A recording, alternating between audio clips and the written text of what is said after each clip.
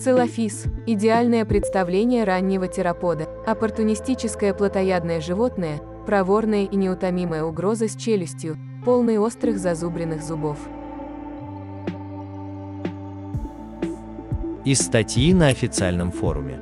Этот небольшой терапод жил около 190-225 миллионов лет назад в районах, которые в конечном итоге стали Южной Африкой, США и Зимбабве.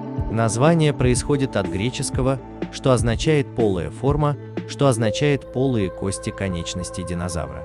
При длине около 2 метров он весил не более 18-23 килограммов, что делало его чрезвычайно легким и тонким.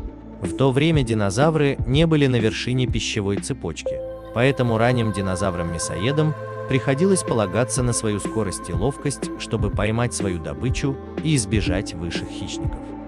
В ваших парках динозавр предпочитает большие открытые пространства, по которым он может бегать, но ему также понадобится немного леса в его окружающей среде. Будучи хищниками, они также нуждаются в мясе, чтобы их можно было прокормить. Его относительно небольшой размер делает его легкой мишенью для хищников, поэтому он плохо уживается с другими хищными динозаврами и предпочитает проводить время с себе подобными. Они также могут ужиться внутри вольера с более крупными травоядными животными. Из-за своего небольшого размера они не будут преследовать травоядных, которые крупнее их, а это означает, что они, скорее всего, оставят друг друга в покое. Хотя они любят держаться вместе в группах, они не будут участвовать в охоте на стаи. Целофис, несомненно, станет отличным дополнением, имея доступ к воде, открытому пространству, небольшому участку леса и большому количеству друзей. Ваш целофис должен процветать и оставаться относительно спокойным.